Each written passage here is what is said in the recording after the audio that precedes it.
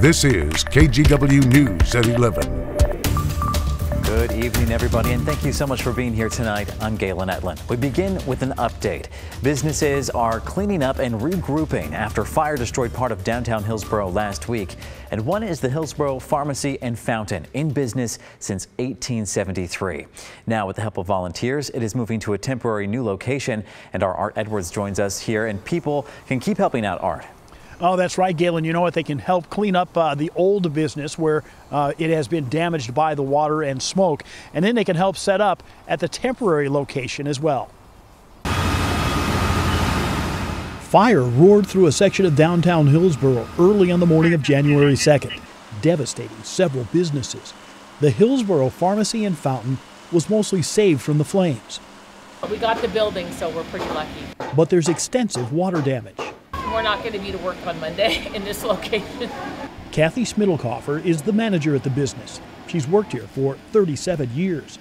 Right now, the focus is to get things cleaned up and the pharmacy open in a temporary location. They're getting the job done with the help of people in the Hillsboro community. It's amazing what we've gotten done with just volunteers and people saying, What can I do to help? There's been a couple that have been like, you know, eight hour days in here. Just, you know, yeah. it's been awesome. So we're pretty blessed. Jasmine Wynn is right in the middle of it all. She bought the hillsboro Pharmacy and Fountain several months ago.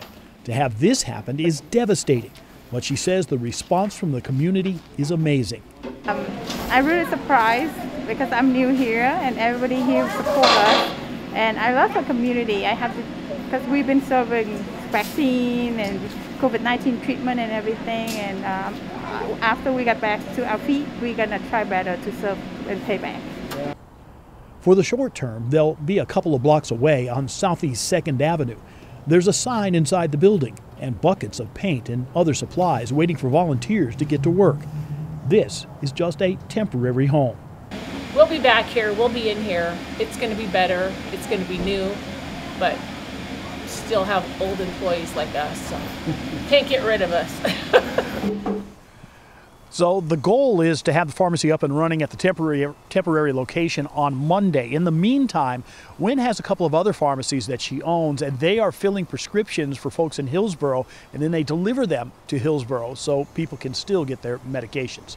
Galen? So good to hear this update and that they're able to find some temporary solutions. Art, thank you very much. Well, clergy, teachers, healthcare workers, and protesters are raising voices to support City of Portland workers as a potential trade strike looms. The District Council of Trade Unions has been working with the city on a new contract for its 1,200 city employees in six unions. Last month, it declared an impasse in that bargaining process. And now workers could strike as early as this month, and it would threaten the city's ability to provide some services to you. We absolutely have provided critical services to the city. We've continued to keep the city working throughout, uh, well, a worldwide pandemic. You know, whether that's clean water, sewer systems, transportation, all of the many things that we do, we've continued to do. And it's time for City Council to realize the value of their workforce.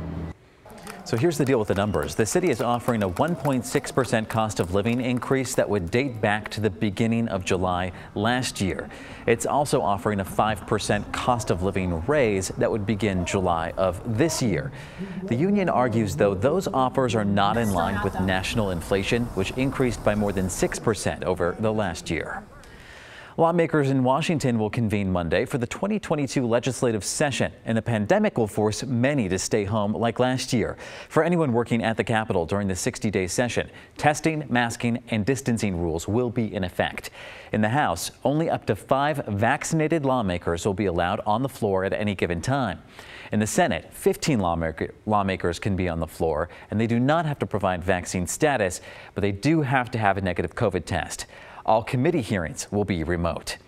Meanwhile, Governor Jay Inslee announced a new executive order to boost diversity in the state government. The governor plans to roll back a long-standing directive restricting affirmative action in state hiring, contracting, and education. An original ban on affirmative action was passed by former Governor Gary Locke in 1998. Inslee's executive order aims to increase the number of certified women, minority, and veteran-owned businesses in the state's master contracts. Well, you may have seen the video. OSU's Reser Stadium is no more. It is a pile of rubble, and crews imploded it ahead of a redevelopment project. But now that demolition site and all of that rubble is being repurposed. Our Christelle Kumwe shows how search and rescue teams are now using it for training. Friday, we watched as part of Oregon history came down with a bang.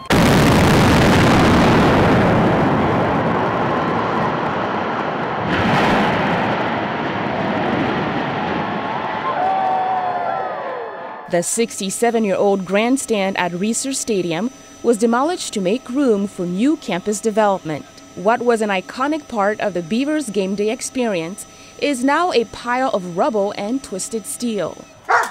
The pile is also a unique opportunity for this canine search and rescue disaster training. To be able to train on a site like this can prepare us for an actual disaster that might happen at any time. Dog trainer Ann Wickman gathered dozens of handlers and their canine partners for the occasion. These people are operational search teams that go on searches for dementia patients that are lost and mushroom hunters that are lost. The canines trained to find survivors in disaster type situations. We just had one of our members go and hide, letting their senses lead the way. Both for the live dogs and the human remains dogs to be able to use their noses and locate source, whether it be live or HRD, is just really unique. And it was just really good for the handlers. Many of these handlers have not been exposed to disaster training, so they they also learned a lot, I hope. You did a lot, Sarah. So she and I kind of specialize on doing things in the woods. It's the closest we've ever done to a real disaster. Um, it gives us a lot of little things to think about and work on. Um, the amount of like sheet metal screws that you see once you're out there in the broken glass, it's just not something that I thought about when we were getting ready for this training. For Bonnie and Sarah and the other trainees, working through the rubble and concrete strengthened skills and the bond between canine and handler. I love working with the dogs because they have so many senses that we don't have, and they're willing to share those with us and partner with us. And so it's really um, an honor. Cool use of that site before it gets cleared away. That was Christelle Kumwe reporting for us. Now, today was just one of the trainings, and a night search was also held earlier tonight in the woods.